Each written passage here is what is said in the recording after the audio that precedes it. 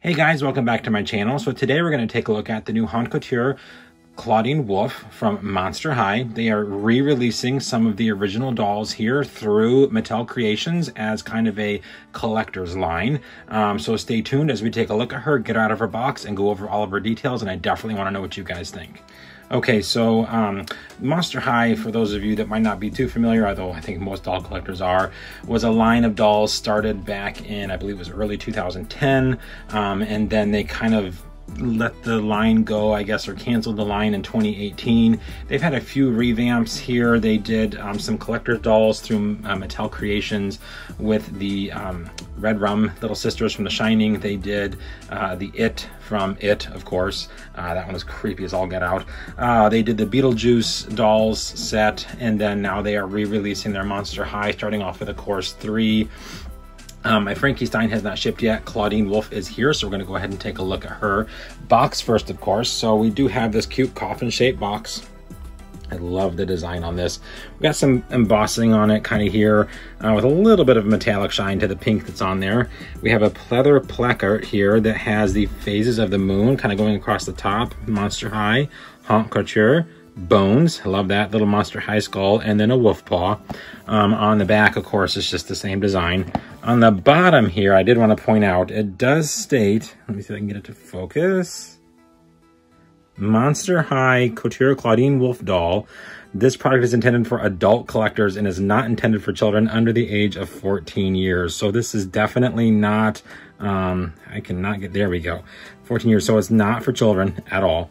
Does say it includes one doll, one doll stand, two accessories, one diary, and a certificate of authenticity.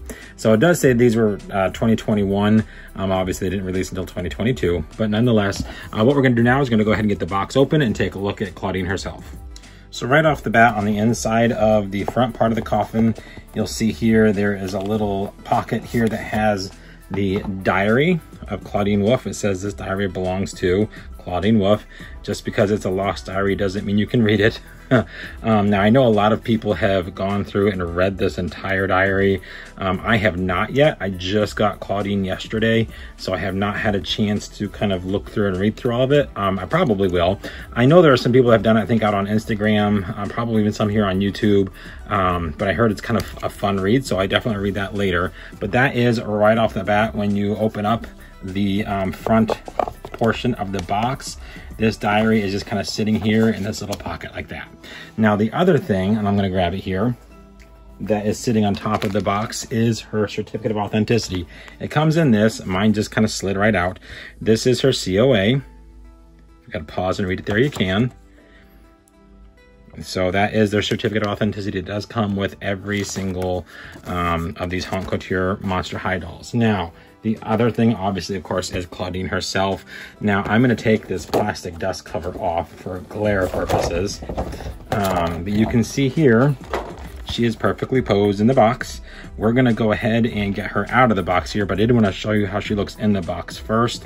I love that they've got like the cloth lining, but it's not really cloth, but made to look like cloth lining on her.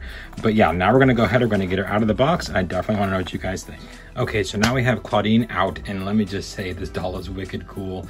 I always wanted to get Monster High back in the day, but I always felt kind of weird being a dude buying dolls, so I never did. Um, and then, of course, I got into the Disney realm, and now I no longer care. um, so I'm really excited to finally be able to start getting the Monster High line again. Um, these things are so so fun. Like they are really really different from pretty much everything in my entire collection.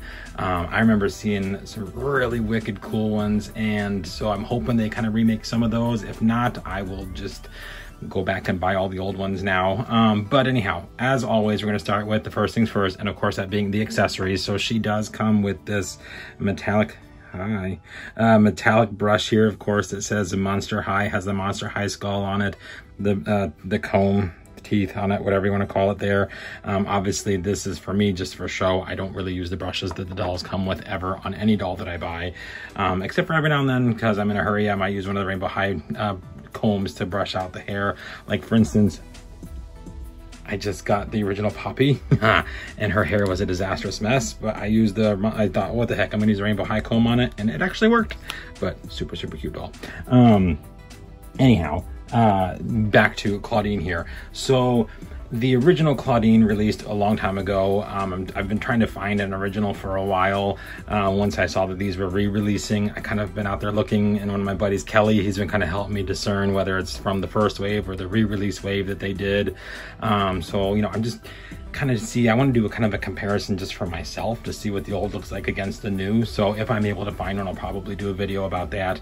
Um, there's a lot of them out there, but a lot of them are either already deboxed or they're missing some ice um, accessories or they don't have the clothes or they're missing an arm or a hand or a leg. And I'm like, oh my golly craziness. Anyhow, all that aside, the other accessory that she comes with, of course, is her uh, three-piece stand. So we do have the Monster High stand here. You can see there in metallic, um, the clear plastic stand part. And then, of course, up here, there is the clip, the waist clip, which is, you know, of course, completely different from Monster High because their waists are itty-bitty tiny.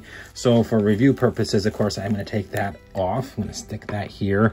I did um, have some fun with this. I took all the plastic pieces out. I took all the thread out, all the rubber bands, and I actually ended up taping the back of this together so that she will have something to stand in. Uh, I thought it'd be kind of fun to give her something cool to look at. Now, let's go ahead and take a look at Clawdeen herself. She is so well done, guys. I know these, I mean, these are $75. It does stay on the box. You know, it is intended for the adult collector um, or children over the age of 14, which at that point, they're not children, they're teenagers. Um, so they are a little on the pricey side. They do have some smaller parts. So of course, there's the choking hazard uh, when it comes to small children.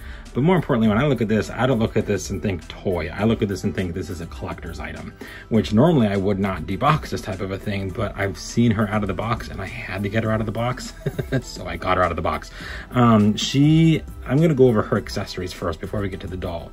So here on her right hand, she has a full knuckle ring that says monster. And it is right now rubber banded to her hand because she also has her purse. You can see there. Um, the purse has a metal chain, comes down to this cute little uh, purse here with a faux zipper, little faux fur lining it's plastic um, that goes around it. Super, super cute little purse here. I am going to take this off here in a second because I do want to be able to take her jacket off. On her other hand here, she has um, like a cuff bracelet that has a dangle charm that looks like a little coin purse. Again, this one is rubber banded to her. So, you know, that of course I will be taking off here in a second too. She also has in her ears, she has these, um, I think they might be attached no, no, they're punched through. They just don't move. She has two gold hoops on this ear, and then she has a bar earring in this ear. You can kind of see it there, just four little gold studs, or excuse me, purple studs. And then she has a headband, which is tied in, which that I will leave, which has um, some gold spikes going across. And then for her necklace, you can see here, it is a molded gold uh, plastic two chain, three chains with a moon, and then there's like a dog collar up at the top, which of course, you know, Clawdeen Wolf dog, cute. I love the little play on words there. Super, super cute. Um, so I do like that. And then her shoes are so, so cool. Um, I'm kind of afraid to take one off, but I'm going to take one off simply so I can show it to you guys. There we go. Woo! Um, so here's one of her shoes. Let me see if I can get it to focus. There we go. Super high heel on this one. Some gold uh, studs on there. Um, it's open toe, of course. You can see there. We've got the moon, again, Clawdeen Wolf um, you know, werewolf, all that kind of cool, cool stuff. I mean, they really tie everything into these things. I think that's really cool. She does have on some pretty cool stockings, you know, that kind of go through that uh, shoe there. So again, they just, the attention to detail on the collector's scale is really, really well done with these ones. I am very, very happy with them. Um, they turned out really nice. So there you can see, get it to focus. There we go. And then what I thought was weird is they're, they're pivot joints are different. Um, they of course go back and forth, but then the, the calf spins all the way around. So kind of cool there. So, you know, a lot of people do like the turned in toes. You can do that really, really easily with them. Um, so now what I'm gonna do is I'm gonna get the jacket off, the accessories off her hands, and we'll take a look at Clawdeen herself. Okay, so now she is accessory free, meaning jacket off, purse off. Um, we can take a better look at Clawdeen herself. So she does have rooted hair and it is very well rooted. Um, I gotta get that little tie out there still. Um, nice curls. I will kind of go in here and fix these up afterwards. I literally have not touched her hair um, since I got her out. So I do want to make this look a little less messy. Um, so we'll get there, but it looks like it'll be a pretty easy brush job, so not a problem there. I love that the hair splits around her ears. I think that's really cool. Um, so you can really showcase those ears really, really well. Coming to her face, oh my goodness, I love her face mold.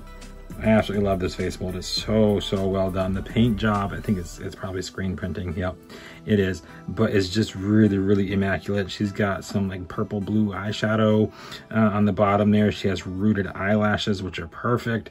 I love that they painted little fangs on her mouth. I think it's just really, really, really, really cute. They did a very, very good job, I think, with these.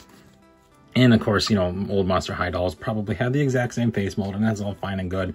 Minute differences over the years, I'm sure, but I know Clawdeen's been done quite a few times. But uh, again, very, very well done for this collector's line. Very, very, very nice.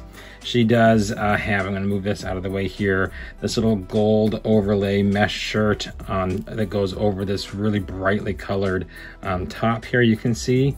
Now, of course, this shirt is Velcro, so if you do want to take it off, you certainly can. You can see there, it does on Velcro. And then there's like a little halter top that's got that, that bright colors on there. Um, I will leave that on though. She does also have this pleather purple skirt, which of course, since their waists are really funky and high up, like her waist is up here, um, it's a kind of an elongated but not mini skirt. Um, I love the little ruffle flare part at the bottom. Here we have little brass tacks that go all the way around, some gold threading to show like the pockets and what would have been the jean zipper.